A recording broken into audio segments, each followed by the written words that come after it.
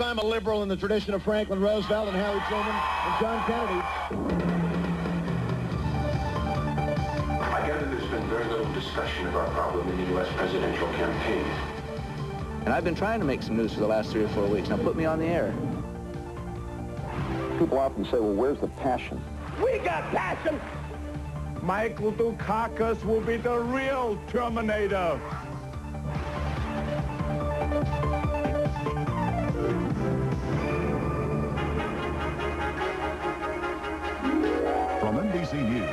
This is Sunday Today with Garrick Utley and Maria Shriver. Good morning and welcome to Sunday Today. I'm Garrick Utley. And I'm Maria Shriver on this last Sunday before Election Day. This morning, we prepared a special edition. As the long campaign finally comes to an end, we thought this would be a good time, a quiet time to sit back and figure out just what the candidates have been saying, what the choice really is before we vote. So on our cover this morning, two men who seek the presidency. One of them will succeed. This morning, we'll examine the issues that divide them, the rhetoric and the realities. First, the economy, jobs, prosperity, the most important issues in most voters' minds. And we'll follow with an examination of the Bush and Dukakis views on the environment, on crime, and on abortion, the issues that affect all of us. And we'll wrap up today's special edition with an expanded correspondence roundtable. John Chancellor will be joining our regulars, Ken Bode and Tom Pettit. But first, let's get started with the news this morning. Well, Garrick, the latest NBC News Wall Street Journal poll completed late last night indicates a tightening presidential race and a shrinking Republican lead. George Bush and Dan Quayle continue to lead Michael Dukakis and Lloyd Bentsen, but by a narrow margin, 48% to 43%. The margin of error is plus or minus 3%. Almost one in 10 of the 1,722 likely voters interviewed nationwide say they are not sure how they will vote on Tuesday. Undecided voters are split evenly between the two tickets. And 12% of those interviewed say they still might change their minds before they vote on Tuesday. And as this election year winds down, talk about the 1992 election has already started. Jesse Jackson, for one, is hinting he will run for president then if Dukakis loses. In a Chicago Sun-Times interview, Jackson said he was a heartbeat away from the presidency, and if Bush wins on Tuesday, he will consider the next political season as starting on Wednesday. Andrei Sakharov, one of the most foremost champions of human rights in the Soviet Union, is on his way to the United States this morning. Bob Abernethy reports from Moscow. Today. But fundamentally, when people go to vote on Tuesday, they're going to be voting for two men. That's absolutely right, Maria, because a voter can listen to the candidates, we can listen to their debates, study their issues, but on Tuesday, in that silence, almost the sanctity of the voting booth, we'll be voting for a person, Michael Dukakis or George Bush. This human factor transcends raw issues. And now at the end of this long campaign, we know something about the character of these men who would be president.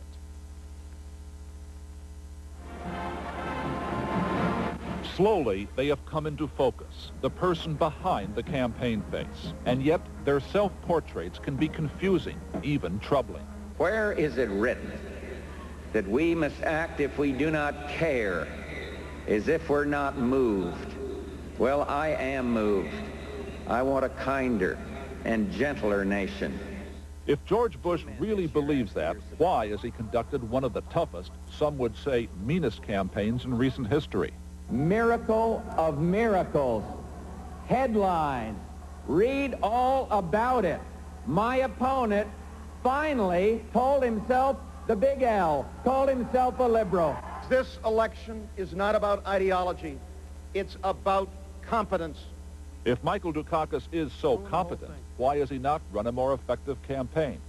There are many oddities about these men and their contest. George Bush was born in the lap of privilege. His family, a Ralph Lauren advertisement, come to life. Yet he sells himself as the common man. I represent the mainstream, the mainstream news and the mainstream values, and they are your values. Michael Dukakis, the son of immigrants, should be the soulmate of Joe Sixpack. But to many, he comes across as a cerebral elitist, all logic, little feeling. Even when asked how he would react if his wife were raped and murdered. I think you know that I've opposed the death penalty during all of my life. A majority of voters say they are not happy with the choice on Tuesday. One man has a record of being overly accommodating, the other obsessively rigid. One is said to take too much advice, the other too little. On paper, George Bush is the man of experience, but beyond the resume, he has left few footprints. Michael Dukakis is very bright, but can he lead a nation? This election is as much about who these men are as what they stand for. And it is what they stand for that we want to look at now. We begin with our economy, jobs, prices, housing. George Bush says, in effect, we've never had it so good. Michael Dukakis warns that for too many Americans, the economy isn't good enough. And that when you count up the national debt, you see how precarious our prosperity may be. I'm going to be the president who brings prosperity home to every home and every community and every region of America with good jobs at good wages. I don't take lightly the creation of jobs as the central goal for a government and the central issue in this campaign. Levittown, New York, middle income, middle America, the kind of community where presidential elections are won and lost on pocketbook issues. The kind of community where couples such as Don and Lorraine Pecora face the daily financial struggle of keeping their heads above water. The Pecoras bought their home in April. It's their first house. Don works as a plant foreman and moonlights as a bartender, a second job so that Lorraine can stay home with their two children. Their concerns are what the candidates are trying to address. What are people here worried about? Feeding their children, getting the proper education for their children, being able to afford the skyrocketing costs. The taxes are phenomenal. What do you think about taxes? What are taxes like? Are taxes not going to go up? We hope not, but uh, no, I don't see any other way. Let them go up. There's no end. We're the middle class, and we're getting squeezed. Michael Dukakis came to Levittown during the campaign and made one specific economic proposal to help people like the Pecoras. And today we're announcing a new initiative that we call Home Start. It's aimed at giving young families a chance to buy their first home. Our start on the ladder of opportunity and security that home ownership represents. What it will do is permit first-time home buyers to invest their IRA savings or their tax-deferred pension plans to make their down payments on a home. George Bush has also made a specific proposal to help working parents. I propose that we create a children's tax credit, a new refundable tax credit of up to $1,000 per child under age four to recognize the increased costs of families with children. Home and children, the emotional ties that bind. They are important campaign issues. But the candidates have not been specific on the paramount economic issue, the nation's debt, the fact that the United States is living on borrowed money and may be living on borrowed time.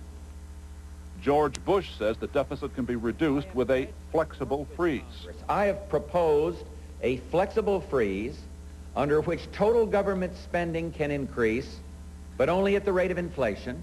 But most economists think the flexible freeze won't work. Lester Thurow of MIT. Uh, the problem is that there are so many loopholes in the flexible freeze that there isn't anybody that thinks even by 1992 or maybe even 1996 that the flexible freeze would in fact balance the American budget. Uh, plus the fact you can't do a flexible freeze. You got more old people every year, more health care every year. Michael Dukakis says he would tackle the budget deficit by increasing revenues. It will require us to go out and collect billions and billions of dollars in taxes owed that aren't being paid in this country, and that's grossly unfair to the average American who's paying his taxes and paying them on time. And there again, you can raise a little bit of revenue doing that, but that isn't going to get you any closer to balancing the budget than uh, Bush's flexible freeze is. In short, what the candidates have been saying is what they think voters want to hear, the 1988 version of a chicken in every pot. Read my lips. Michael Dukakis says he would consider a tax increase only as a last resort. But the economic fact is that whoever is elected may be forced to raise taxes because foreign countries now contribute $200 billion a year to our economy. If the foreigners won't lend us $200 billion, the next president will raise taxes. he will raise taxes because the German and Japanese governments will say, you will raise taxes or we are not going to give you any of the money. And he won't have any choice at that point in time. And at that point, obviously, things get very sticky if you're the next president. Give me another white wine. Numbers such as 200 billion are beyond the daily concern of Don Pecora, who leaves his Levittown home to take a second job on weekends. Michael Dukakis came to Levittown. He spoke. He talked about the middle class that is being squeezed. People like you. Hmm.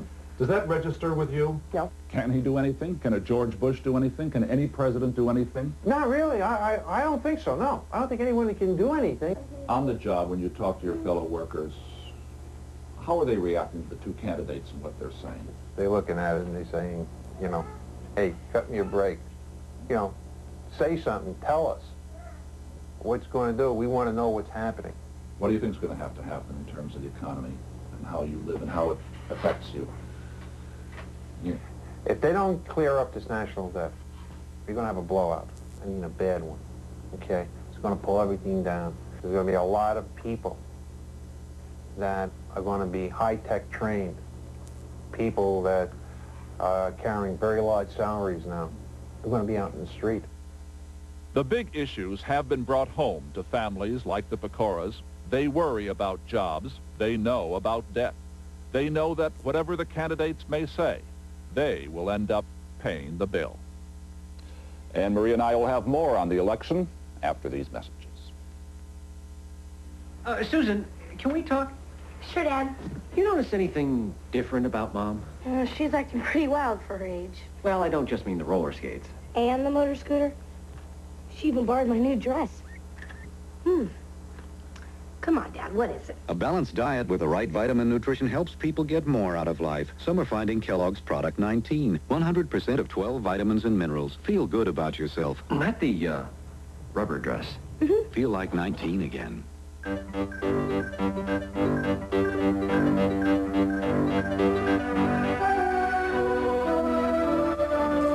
All our science, our technology, our mathematics,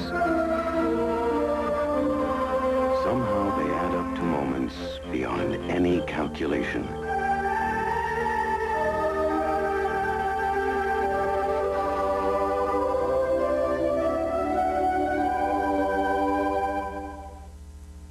How do you give? I'm Cal Worthington. Hey, if you're buying any kind of a Japanese import, see me first, give me the first chance at the deal, and I'll give you this cordless telephone. Now, you don't have to buy from me. Even if you buy from another dealer, I will still give you this cordless telephone. It's a nice little gift, and it's just my way of saying thank you, partner, for giving me the first chance at the deal. Hey, give us a call. Call us collect. I'll save you time, save you money, save you trouble. We'd love to talk to you. Pick up the phone. Call us collect. It's Worthington Toyota, Rancho Cordova, open till midnight. Two years ago, I was reporting on a hidden cancer that kills more than 60,000 Americans every year. In learning about the warning signs of this cancer, I found out that I had a tumor. Luckily, it was benign, but the series probably saved my life. Early detection and proper diet can lead to a cure for colorectal cancer. Find out the facts, facts that could save your life. The Curable Cancer, starting Monday when Channel 3 reports at 5.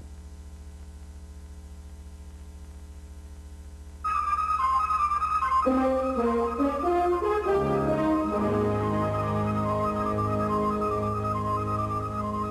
we want to deal with the assault on nature. In a word, the environment. What is happening to our air, water, and good earth has been a problem for some time. But in this campaign, it has taken on new urgency as a political issue because the candidates have discovered that the people are very concerned about it and that they constitute a sizable voting bloc. Dan Bernard looks at the environmental rhetoric and reality of Bush and Dukakis. Our air, our water, our sunlight, our food, all have become significant issues in this campaign. 1988 became the year of wide discontent with the erosion of our environment. It was the year of pain, the year the warnings hit home as we were denied our beaches and some national parks. Resort businesses stared at bankruptcy. Fishermen lost markets for the catch that was pulled from polluted waters. George Bush recognized the new power of the environmental issue. In the blur of headlines about dirty air and closed beaches, there may be one silver lining, an increased awareness to clean up the environment is now. His opponent sees hypocrisy in that statement. George Bush has been part of an administration whose environmental policies have been hazardous to our health. In the Audubon Society newspaper, this view of the Reagan administration record on the environment. Peter Berle is the president of the National Audubon Society. We have not seized on opportunities that we should have seized. We have not advanced the interest of environmental quality. We've dismantled a lot of the regulatory and the good people in government that were helping us, and we're not managing our resources any better. The Bush campaign stole the environmental issue from the Democrats with his one campaign event, the Bush appearance in Boston Harbor, and this charge against Dukakis. He delayed, and the harbor got dirty and dirtier. Half a billion gallons of barely treated sewage a day into the harbor. 70 tons of sewage sludge per day into the harbor. PCBs into the harbor. Trace metals into the harbor. Harbor of Shame, the Boston Herald called it. Jim Maddy is the executive director of the League of Conservation Voters, a nonpartisan political action group.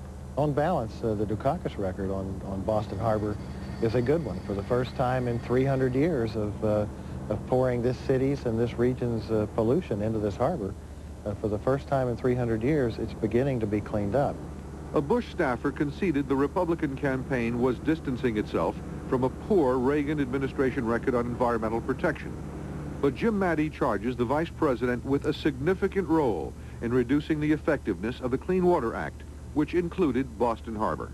The uh, position of Vice President Bush on Boston Harbor, uh, on every harbor in the country and every river in the country has been, if they're going to be cleaned up, someone else has to do it because the federal government should be doing less, not more, to clean up rivers and harbors. Offshore drilling. Santa Barbara, California has offshore oil rigs. Mendocino residents have been passionately battling to keep such rigs off their coast. The Democratic candidate agrees. My friends, it's time to send this administration's five-year oil, gas leasing plan back to the drawing board. Dukakis was part of the successful fight to keep rigs away from the Georges Bank fishing ground off New England. Michael Dukakis is saying that offshore oil drilling is a, a, very risky proposition. It is something that is often damaging to the environment, and we ought to do it only in those cases where our national energy security demands it. The Bush position is essentially the industry position. Development of our most promising oil and gas reserves is called for, but at the same time, I oppose drilling in those environmentally sensitive areas where the risk of damage is too great. Bush has put off making a decision on Mendocino offshore drilling until after the election. The environment is an apple pie and motherhood issue. No one wants toxic waste or acid rain, but little has been done to clean it up. And 1988 was the year of new disclosures of radiation leakage over decades from government atomic weapons plants. New warnings were heard about global warming because the vast rainforest of Brazil was being intentionally burned off to make room for agriculture. Both candidates claim they care.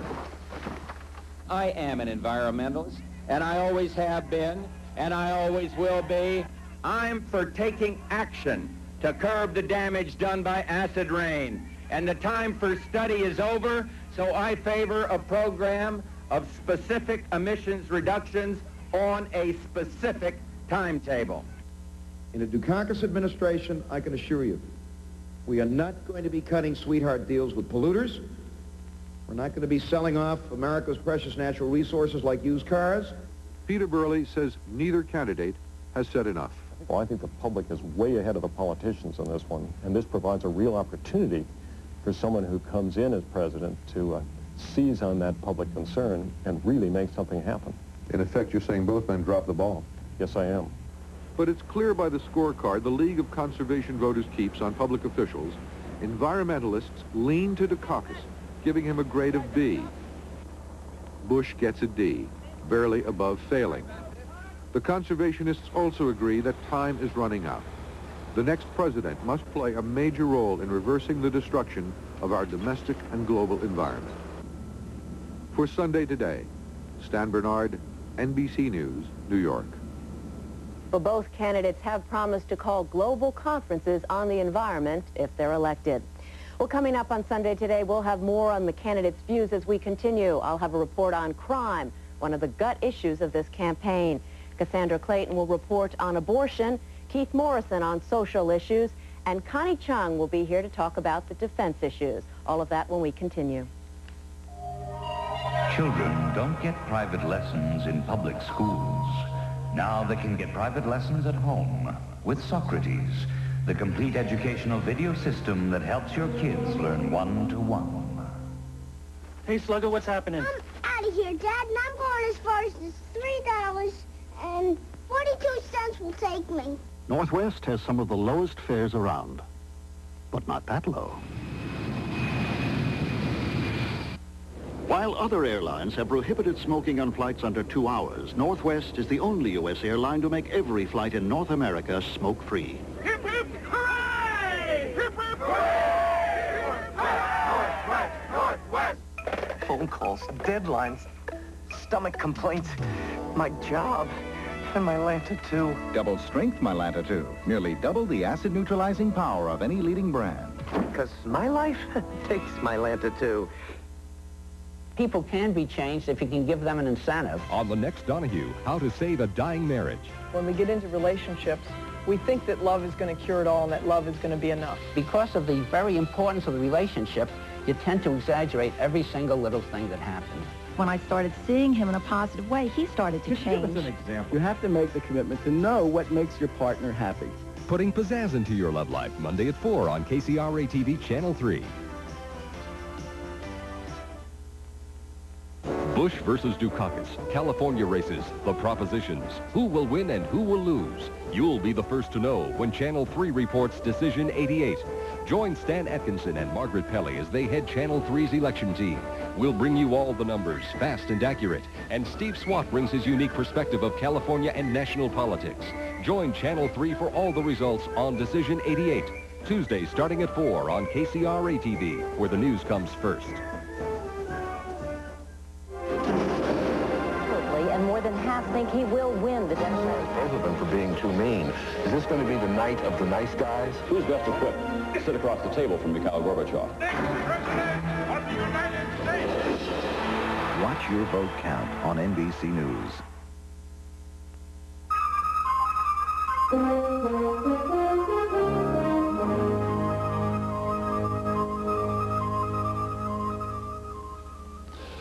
Some concern about a low voter turnout next Tuesday. The campaign of the candidates may account for some of that if it happens, but weather is also a political factor, and that brings us to Al Roker again.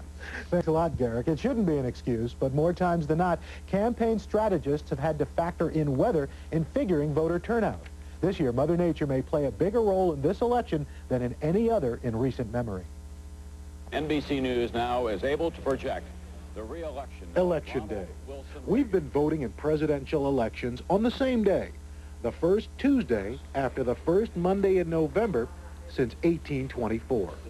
When it comes to the weather nationally, politicians will tell you that clear, sunny weather generally favors the Democrats.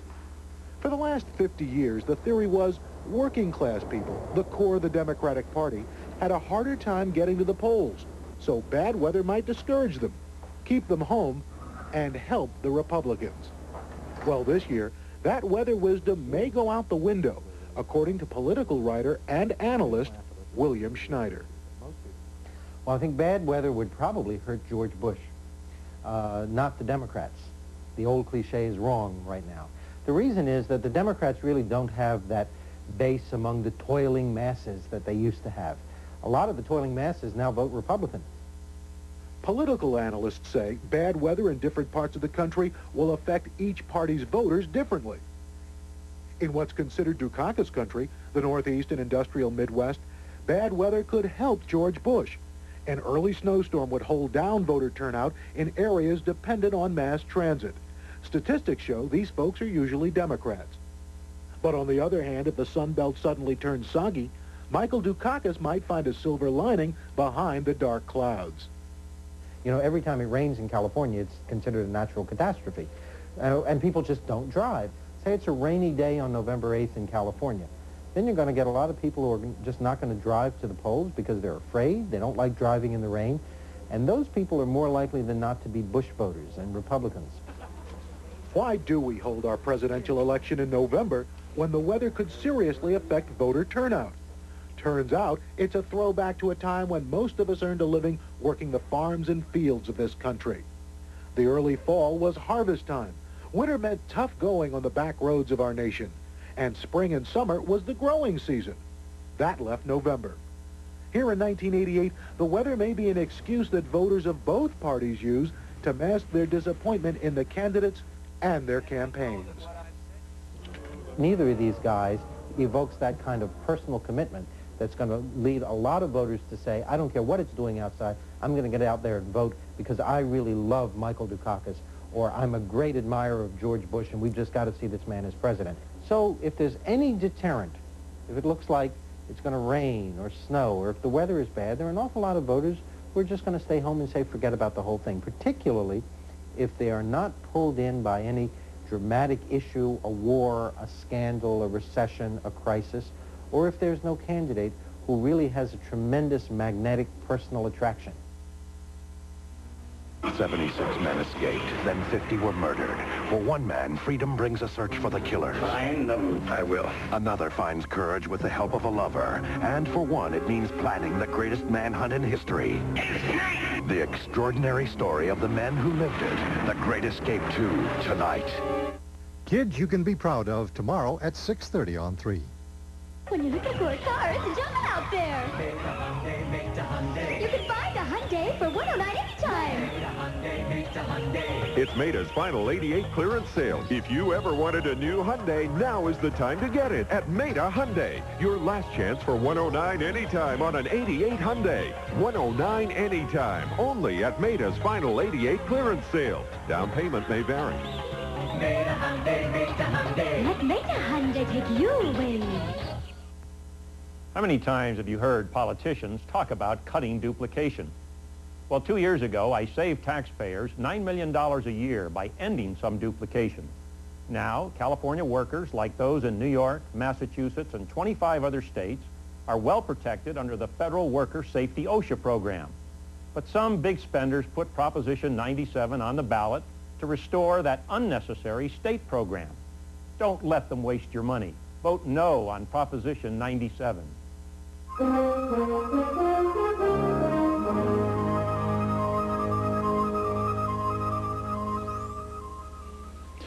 issues that come up uh, during a presidential campaign are more than debating points for the candidates. They are a sign of the time, and it's rather troubling that an issue such as prison furlough and crime has been such an important issue during this uh, these past few weeks. A big issue. Crime certainly is an emotional issue in the campaign, and people are desperate for some reassurance that something is being done about it. Meanwhile, the statistics on rape, murder, and other acts of violence are rising, and the candidates disagree on how to stem the increase. You're gonna be all right. Chicago, Illinois. 691 people were murdered here last year. But cold-blooded killings aren't just confined to big cities anymore. Across the country, a person is murdered every 26 minutes. Los Angeles, California. Almost 2,200 women reported being raped here last year. Sound high? Throughout this country, a woman is forcibly raped every six minutes. Houston, Texas. Almost 8,000 aggravated assaults last year. In these United States, a person is assaulted with a weapon or beaten up every 37 seconds. America is a nation living in fear, and the men running for president know it. And today, the people of this country are fighting another war. A war against crime, a war against drugs, a war against fear. My friends, the streets of America do not belong to drug peddlers and crack gangs. They belong to us, and we're going to take them back. I live in much more fear than I ever did before. And with good reason. Three years ago, 36-year-old Nancy Simon of Santa Monica, California, became the victim of a violent crime. It was a very warm night, and I had fallen asleep on my couch watching TV with my sliding glass window open. And this man came over my balcony and into my home and woke me up out of a pretty sound sleep with a knife in his hand. And if I dare scream or he'll hurt me with this knife.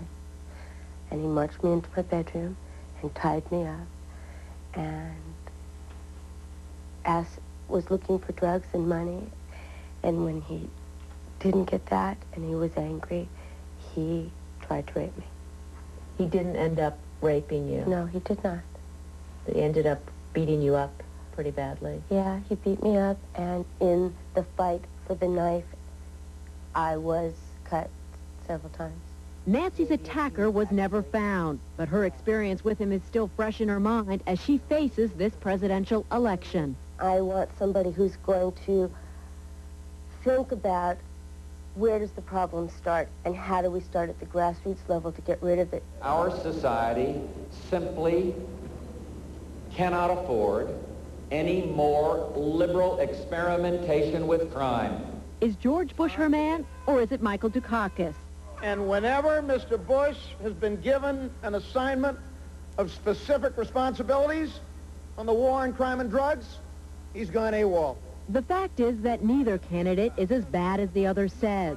And given that crime is overwhelmingly a local issue, neither will be able to change the crime rate as much as some voters may think. Mayors, police chiefs, sheriffs can make a difference.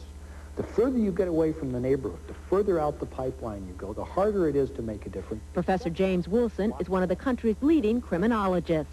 Uh, in a relatively issue-less uh, election, the voters are looking for some way to assess the character of the candidates and how they feel about crime or prison furloughs or capital punishment or gun control gives them a signal as to which candidate is closer to their core values. Both candidates know that people vote on issues that hit them in the gut, and almost no issue is as emotional as crime. Crime, thanks to the work of many right here in this room, is down under our leadership nationwide. That's why Bush trumpets the fact that under a Reagan-Bush administration, crime hit a 15-year low, but that was two years ago. What he doesn't mention is that the crime rate has been creeping up since then, 1.8% last year and experts predict the upward trend will continue. Dukakis, too, knows the power of crime at the polls, so he boasts about his record in Massachusetts. The fact is that crime has dropped in Massachusetts by more than any other industrial state in America, while it's going up all over the country. For both candidates, talking tough about crime means talking tough on drugs. Around the country, citizens are terrorized by violent gang drug wars. Almost half the people who commit crimes admit to being high on drugs when they do. In America, drugs drive crime up. If they are peddling drugs to our kids, they're going to be going to the slammer for a long, long time. During his second term as governor of Massachusetts, Dukakis was tough on drug offenders. He took them off the streets and gave them harsh sentences. As president, he says he'll do the same.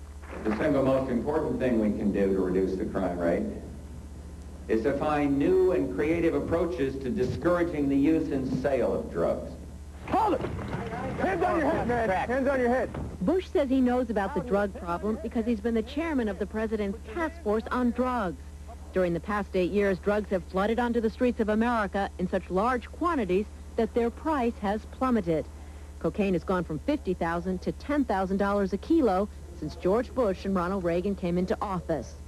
But Bush says he'll be tough on drug dealers and users. And for those who commit drug-related murders, for the drug kingpins who are poisoning our kids, and especially for those who kill a law enforcement officer, the penalty should be death. I know that I've opposed the death penalty during all of my life. Uh, I don't see any evidence that it's a deterrent, and I think there are better and more effective ways to deal with violent crime. We Along with his support for gun control, the issue of the death penalty is probably the greatest difference separating Dukakis and Bush in the area of crime. Professor Wilson. The death penalty is supported by between 70 and 80 percent of the American people. For the first time in a long time, a majority of black voters support the death penalty, although not by nearly as great a majority as is true of white voters. Willie Horton stabbed my teenage brother 19 times. Joey died. It's the Willie Horton factor, though, that has probably been Bush's most effective firepower against his Democratic rival. Dukakis seems to have become a victim of the murderer who escaped from the Massachusetts furlough program and went on to terrorize a young couple. I know of no responsible correctional program in this country, with very few exceptions, that doesn't involve furloughs. Every state in the Union and the federal prison system has a furlough or temporary release program. Last year, 53,000 inmates across the nation went out on furlough, including hundreds of people convicted of murder. Does the Willie Horton incident mean Michael Dukakis is soft on crime? If elected, will George Bush put on a white hat and run a law and order White House? Well, voters can't be sure, but many are mad as hell, and they don't want to take it anymore. Makes me very mad. Makes me horribly mad to think that I, who like to have fresh air blowing in my in my home all the time, have to keep my windows no more than two inches open at any given time, except certain hours of broad daylight. It makes me very angry to think that people like this can be wandering the streets and that drugs are readily available and that our system has allowed this to happen. Will you vote on crime? It's at the top of my priority list. Vice President Bush's desire to name Dan Quayle as the national drug czar if they're elected would not be possible under the anti-drug bill passed by Congress in October and awaiting the president's signature. That legislation prohibits the drug czar from holding any other job in the federal government. And we'll be back with more on Sunday today, but first these messages.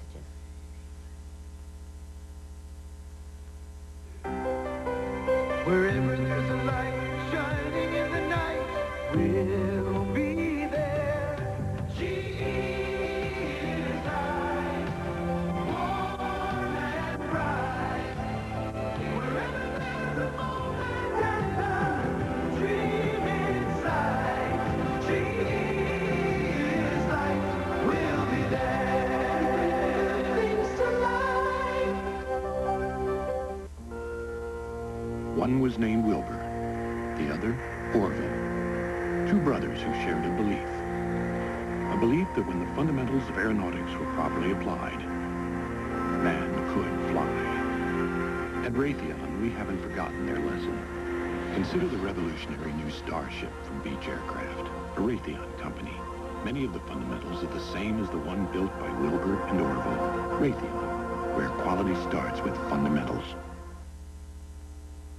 lot of good things on the ballot this November.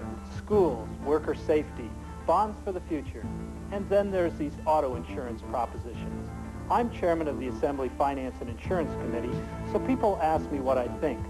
Both the lawyers and the insurance companies want to reform each other, but not themselves. When I proposed to reform both of them, they killed it. Don't let them get away with this multi-million dollar scam. Vote no on all the phony reforms. The romantic, historical, and time-honored culinary treasures of Italy.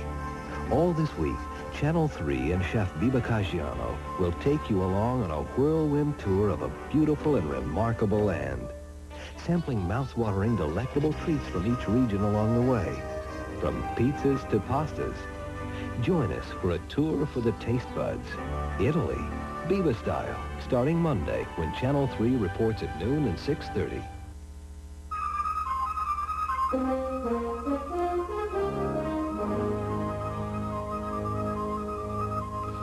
Now, abortion.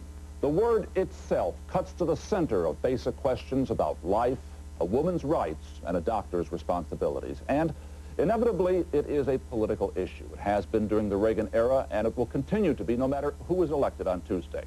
Here's Cassandra Clayton on abortion and the candidates.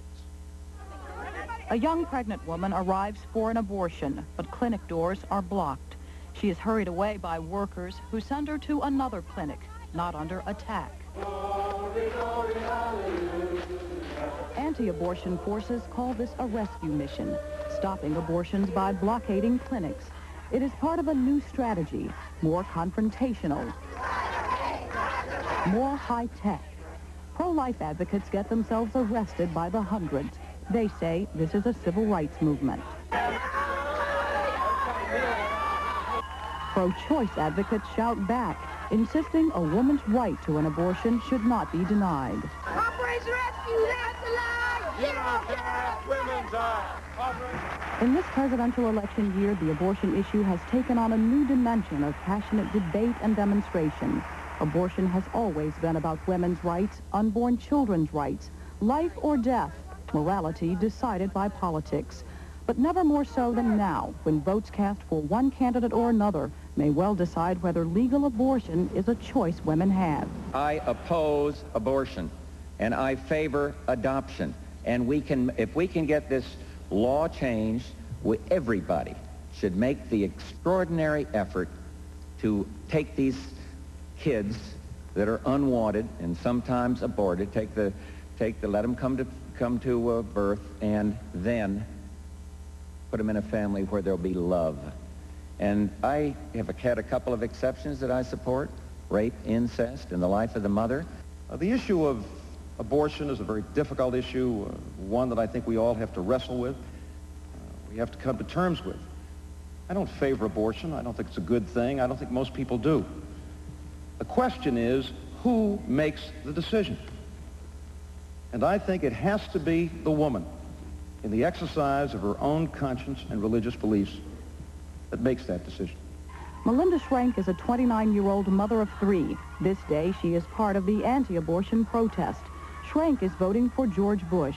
I believe a, a child's life is more important than any other issue. And, and to prevent these women from being exploited and lied to when they're giving their children up to be killed, I believe that those are two very, very important issues which I will, will be able to make, perhaps make a difference by voting for Bush. I hereby request and demand that you and each of you leave this property immediately. Pat Miller heads the nonprofit clinic under siege. She is voting for Michael Dukakis, fearing the loss of abortion rights if Bush wins. My biggest fear is that we will be back to what we were before. Poor women are the ones who are going to suffer. Rich women can get abortion, but who won't get it are the poor women. They're the women who are going to be having their local hairdresser do it with a knitting needle. And I don't want to go back to that. I mean, I care what happens to the health of women. It has been 15 years since the Supreme Court gave women the constitutional right to safe legal abortions. But that decision may be jeopardized by the recent conservative shift in the court. This is where Tuesday's election could be crucial. With three justices 80 years old and older, the next president and appointing justices who are conservative or liberal on the issue could decide the fate of legalized abortion. As a state legislator and as governor of Massachusetts, Michael Dukakis has consistently supported a woman's right to have an abortion. George Bush says his position has evolved. In the presidential primary in 1979, Bush said he did not favor a constitutional amendment banning abortion. That changed after he became vice president under the more conservative Ronald Reagan. In 1984, Bush debated Democrat Geraldine Ferraro. The president and I do favor a human rights amendment. I favor one that would have an exception for, for incest and rape, and he doesn't, but we only for the life of the mother. And I agree with him on that. So, yes, my position's evolved. In his first debate this year with Dukakis, Bush seemed to endorse criminal penalties for women and doctors if abortion is made illegal. I'm for the, uh, the sanctity of life. And once that illegality is established, uh, then we can come to grips with the penalty side. And of course, there's got to be some penalties to enforce, uh, enforce the law, whatever they may be. Dukakis sees the issue. And what he is saying, if I understand him correctly, is that he's prepared to brand a woman a criminal for making this choice. I just said it before. I think that's, no, let me finish. Yeah, sure. Uh, let me simply say that I think it has to be the woman in the exercise of her own conscience and religious beliefs that makes that decision. The next day, Bush's campaign chairman, James Baker, clarified the vice president's views. Frankly, he thinks that uh, a woman in a situation like that would be more properly considered uh, an additional victim. Perhaps the second victim, that she would need help and love and not punishment. Right to life, your name's alive. Last month, a Gallup poll found 81% of Americans favor legalized abortion, 24% for any reason, 57% with some restrictions. Only 17% want an outright ban. Abortion is a tough personal moral issue, but not a decisive one in this election. Still, the sound and fury in the streets reflects a